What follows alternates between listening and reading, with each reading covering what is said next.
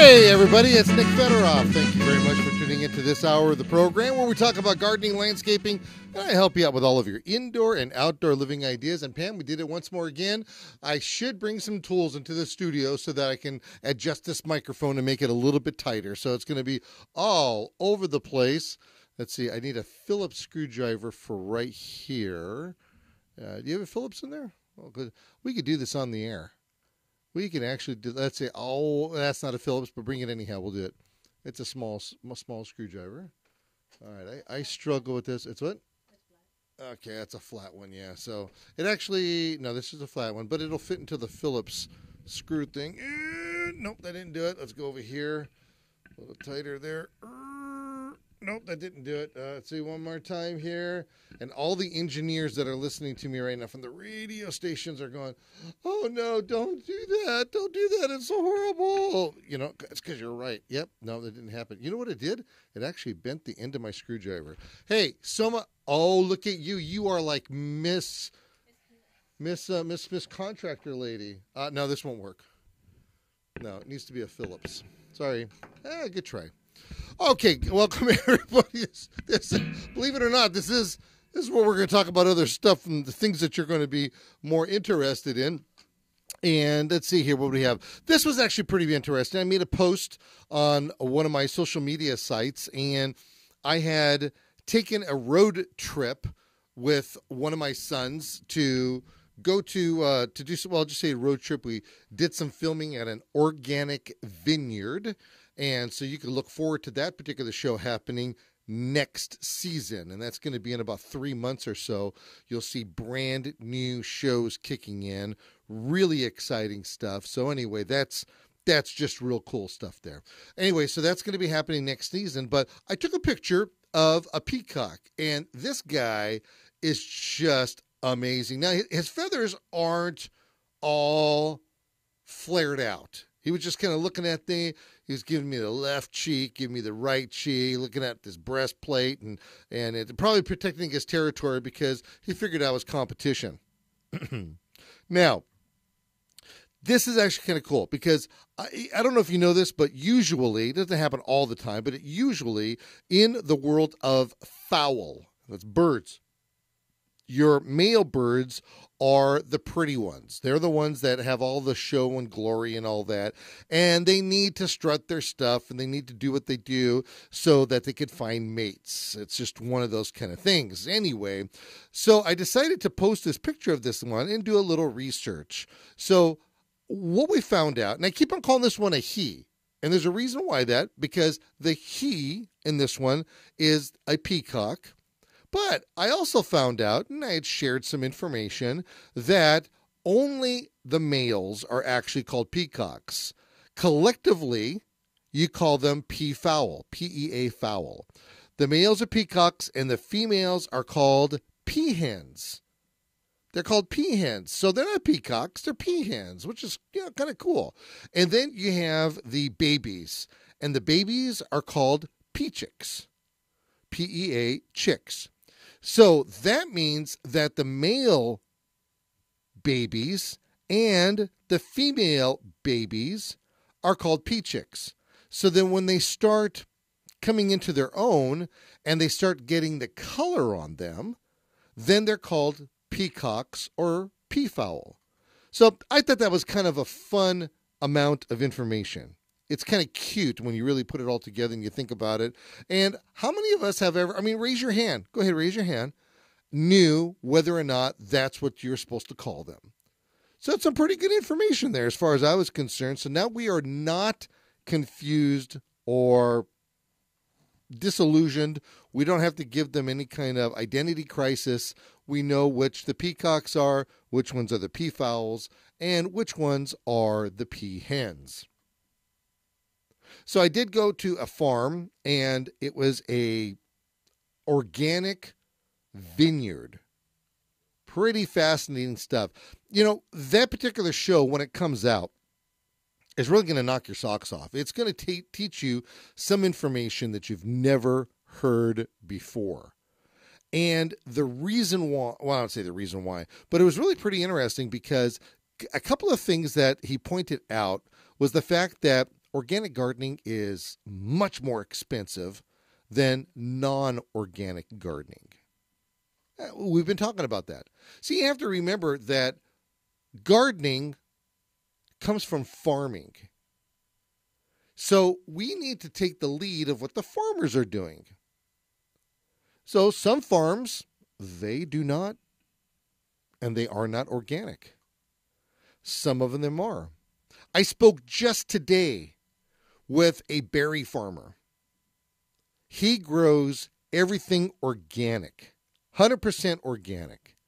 This is really interesting. He told me this, this is his words. He said that organic gardening is a bunch of hooey. That's what he said. Now, in the context of what he was saying, that it's a bunch of hooey, was that his crops, when he sells his berries, they actually get thrown in to the same crops that are thrown in from Mexico. And even though you have a, producer up here, so I don't know if you knew this is how it works. You you have a you have a company. We're going to call it XYZ Farms. XYZ it's a it's a fictional farm, okay? XYZ Farms, let's just say, is the world's largest berry farmer. Well, they will own hundreds, if not thousands, of acres themselves and they'll farm it. But as they grow, they don't, and sometimes they can't buy farms from everywhere. They have to contract out to these different farms to grow the berries on their behalf. And you have certain criteria that you have to follow in order for that farm to really take place, to have that farm do what it has to do in order to fill their contractual obligations. So they will always say, and this came from the farmer himself today. I was talking to him today. He tells me, he says, do not believe for a second that if it's from another country, and it's exactly what I've told you guys before too. If you think for a second that the criteria that another country, and in this case he was talking about Mexico, he said, he said the farmers here, this company, let's just say, will tell you, oh, we give them all of the tools and they tell us and they we tell them how they have to grow them how they have to grow the berries and we tell them that we have they have to be grown organically. But the thing is organic in another country is not organic today. And let me give you an example for that. And i'm going to support this guy's theory here by saying this. I ran into a farmer that was in Brazil. And being that I ran into this farmer and I talked to this farmer, he tells me, he tells me, he says, he says, we use Dursban. Dursban was taken off the market in the United States about 15, 20 years ago. But yet he's saying that he's an organic farmer. Anyway, that's the way that it goes. Hello, everybody. I'm Nick Federoff. Greetings and salutations. We'll be back right after this. Don't go anywhere.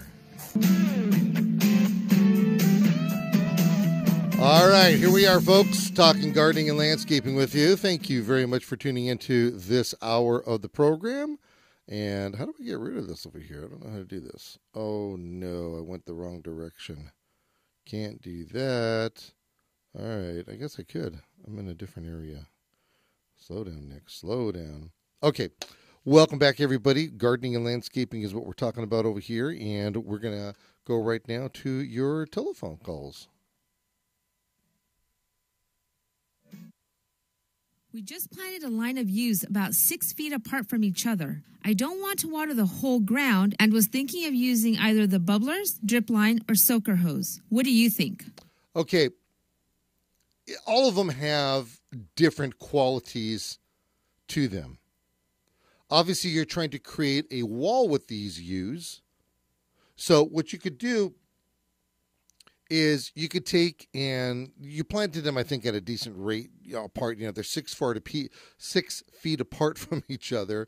They're going to grow three feet in either direction, and they will get tall. Now, if you use bubblers, you can use bubblers at each and every single plant. Bubblers actually use a little bit more water, but it doesn't mean that they're not effective. The next thing you have is drip line.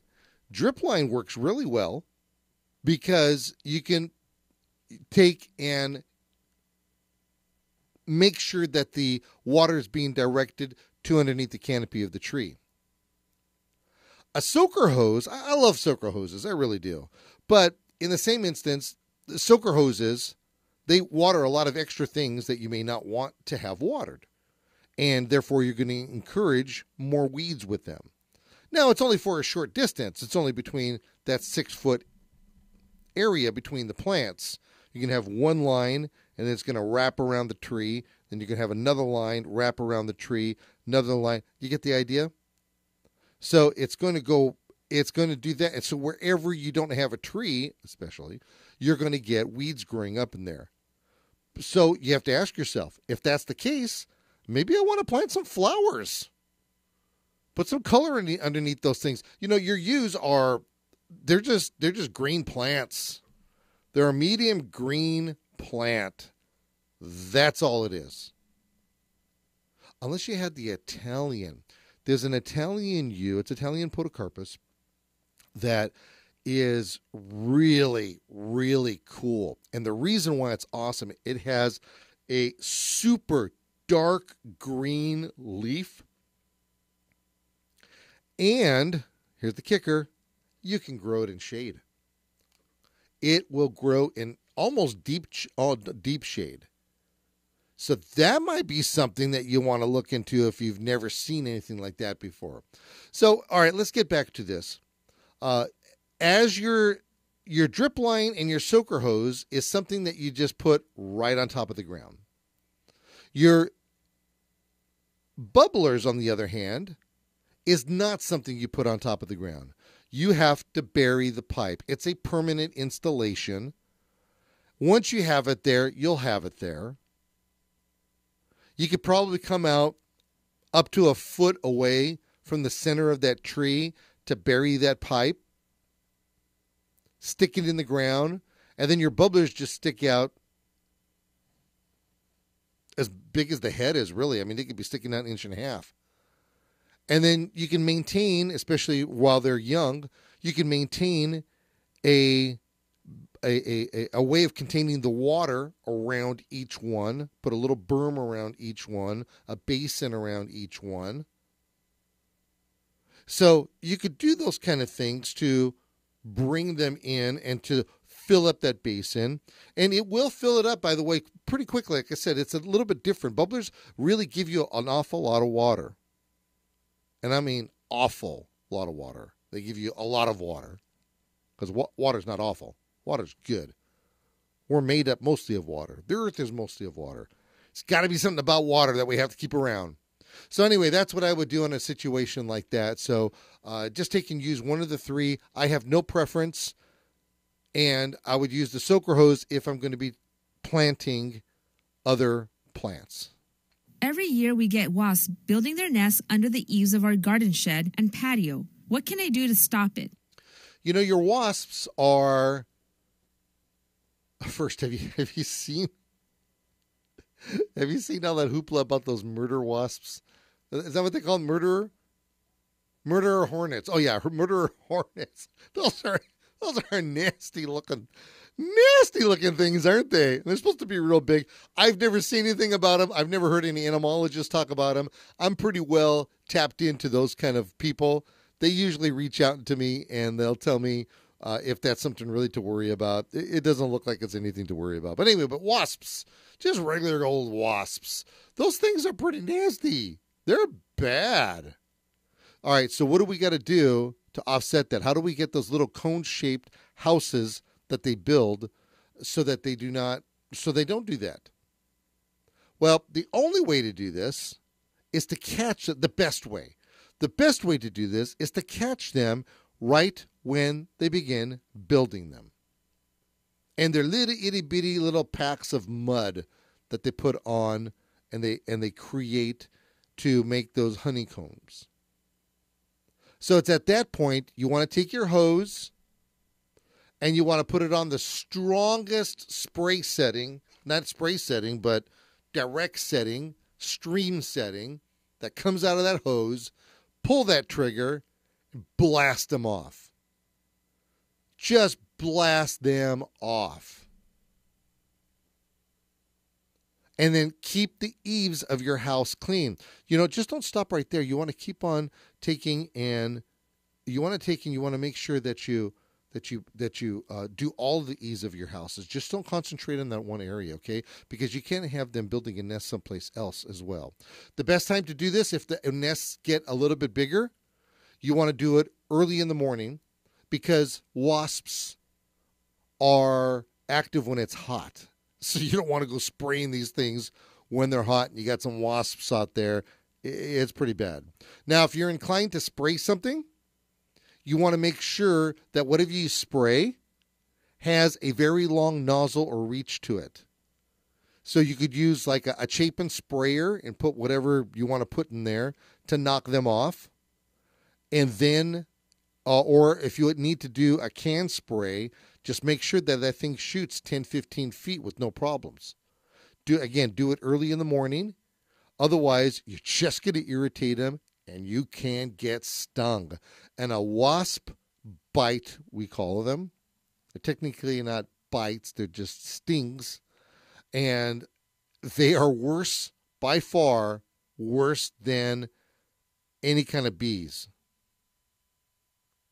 So make sure that you kind of keep that in mind when you're going to be talking about any kind of wasp control. You just don't want to do it during the day, otherwise you're going to have you're going to. I mean, you don't want to do it in the afternoon. Do it early, early in the morning, and then you'll actually see them. You'll spray them, and they'll just they'll they'll fall right there, right below your feet. But be careful. Keep your distance. They can get really nasty. If you're going to use controlling them by water, and it's a big one up there, again, you want to do it early in the morning. Make sure that your hose has uh is just blasted with uh, has enough pressure to really blast that thing off. Knock it off as best as you possibly can. All right, I'm going to knock it off right now for the next couple of minutes. We're going to take care of some news. We'll take care of some weather. We'll take care of some shopping. So buy the stuff that you hear and listen to your local radio station and support the sponsors that you have there if you would please. I'm Nick Federoff. You're listening to Nick Federoff on Gardening, coming to you live from the thingsgreen.com Botanical Gardens, America's most listened to radio gardening show of its kind. Thank you very much. And for those of you that are watching us online, hi. All right, we'll be back after this.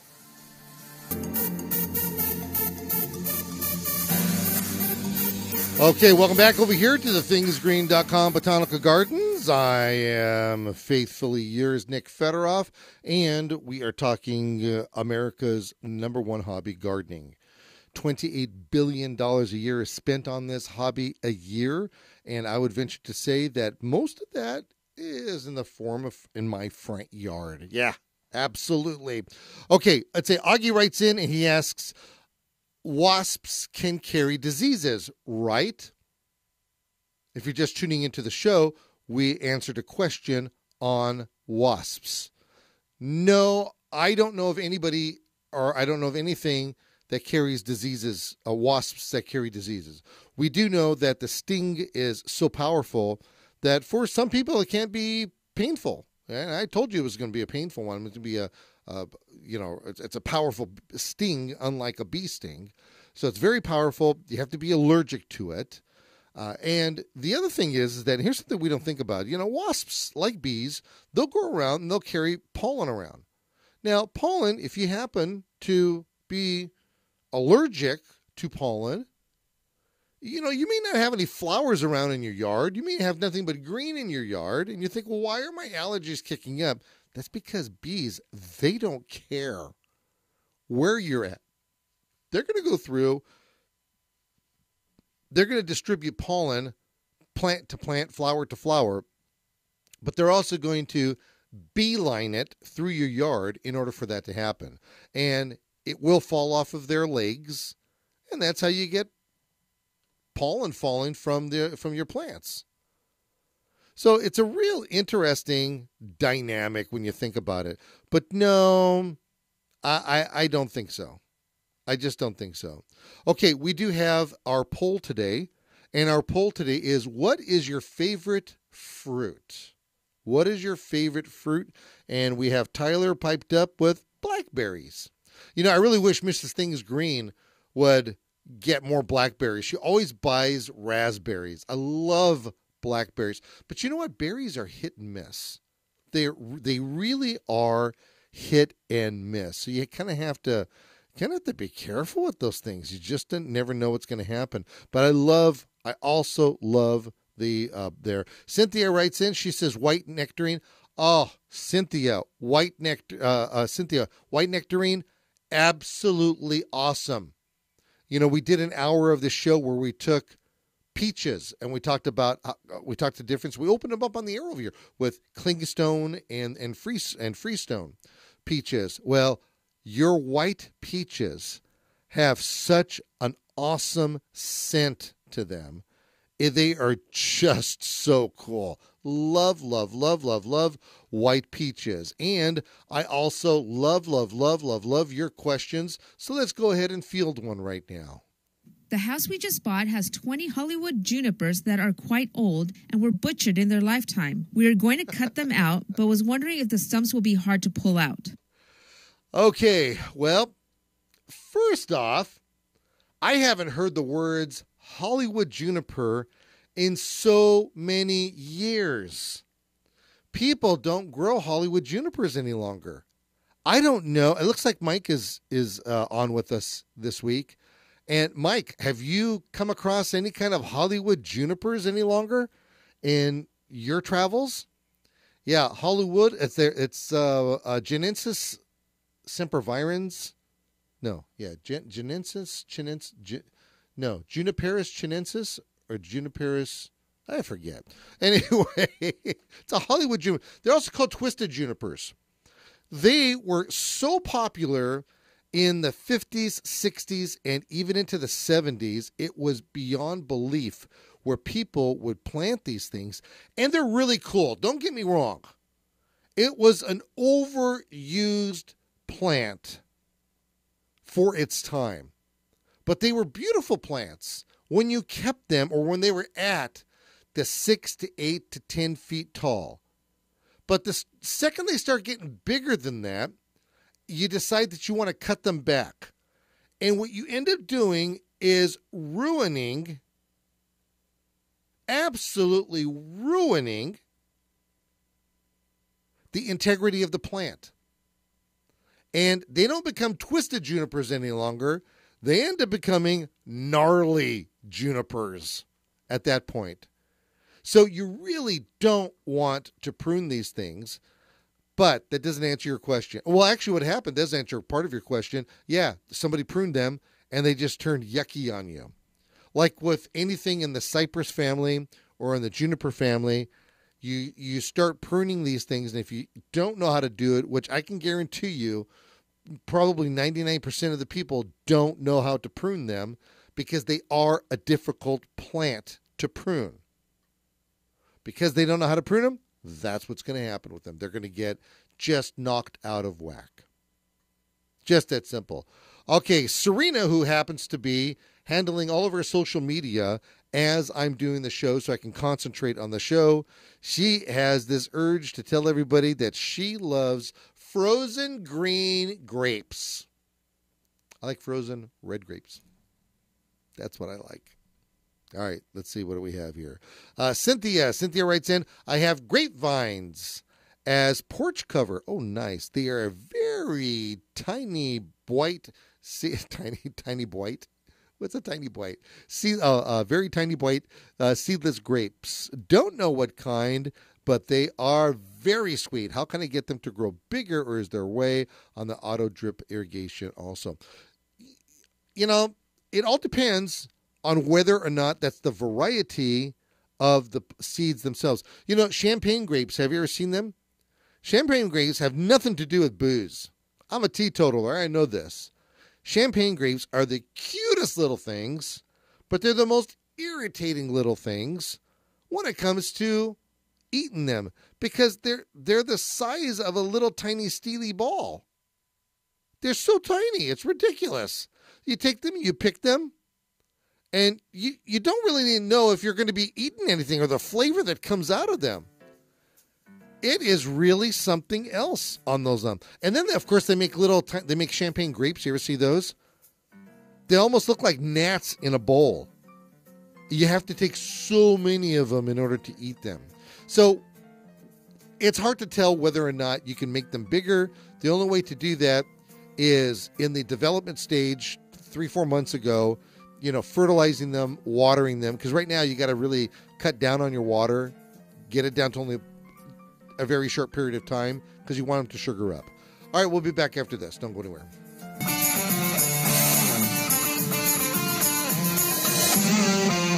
Welcome back, everybody. Nick Federoff here, talking gardening and landscaping, helping you out with all of your indoor and outdoor living ideas. Thank you very much for doing so. And I'll tell you what, let's get back to your calls over here and your questions as we tackle America's number one hobby gardening, landscaping, and all of your indoor and outdoor living ideas. What's this I hear? You shouldn't allow herbs to flower? Why not?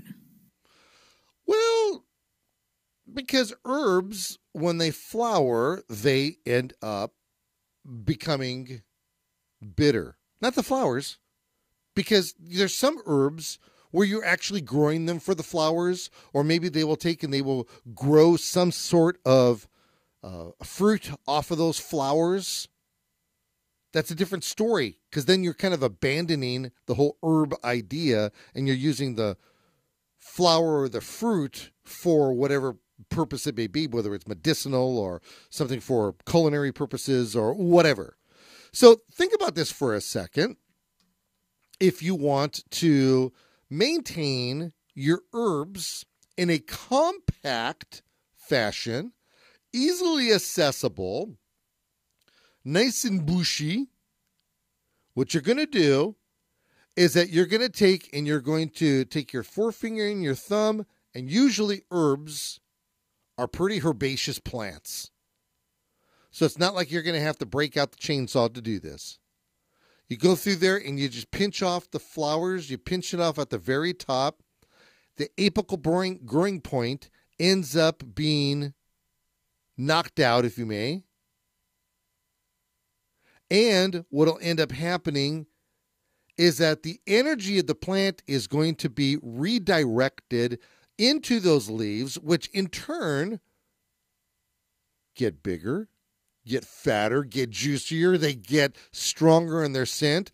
The vitamins and the nutrients that's within that plant ends up containing itself much better within it because it's not being used to create any type of